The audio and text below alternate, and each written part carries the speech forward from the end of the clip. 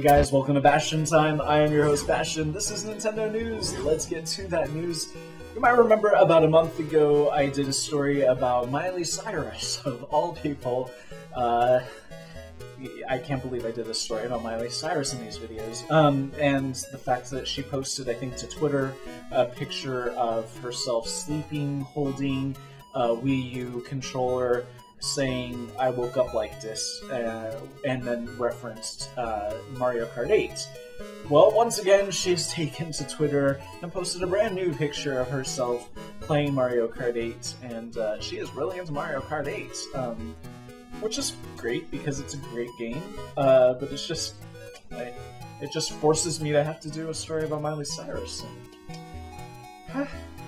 that is it for this episode of Nintendo News. See you guys tomorrow for more news. Bye, guys.